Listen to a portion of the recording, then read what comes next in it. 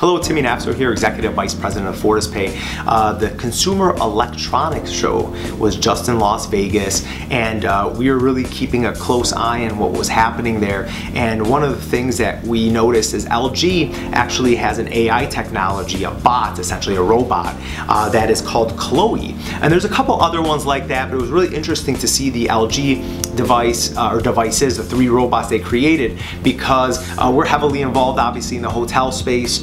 Work heavily with supermarkets. Uh, actually, my family comes from both, uh, so it's so it's really interesting to hear. But what they're trying to get these robots to do, and these things are actually here and they're alive and they're well, and they're, uh, we may start to see some of them, uh, whoever's bravest to, to, to get them into their properties first to see how they may interact. But what would actually happen is you would replace the checkout counter with a robot, and this robot would actually help. You could actually make a payment with a robot. It could actually also deliver your luggage. Um, it can uh, uh, uh make special requests and orders. It could deliver towels. And what the idea is, is you know, how do you speed up the check-in process. Uh, a lot of people actually complain about the check-in process at, at, a hotel. It's often very time consuming, uh, assigning rooms, so on and so forth. What I'm curious to see is if the robot is actually necessary if there's actually going to be a full bypass because we've seen a lot of technology just discuss kind of this idea of you don't actually even have to stop at the front desk right there's some type of biometric or you know facial approval that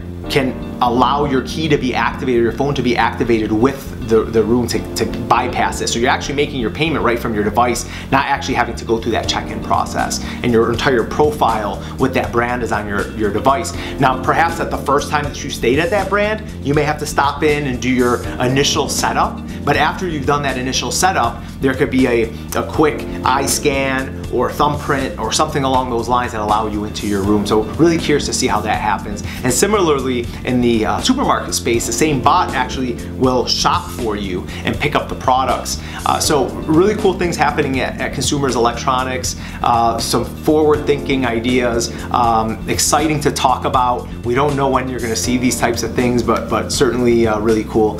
Thanks for listening.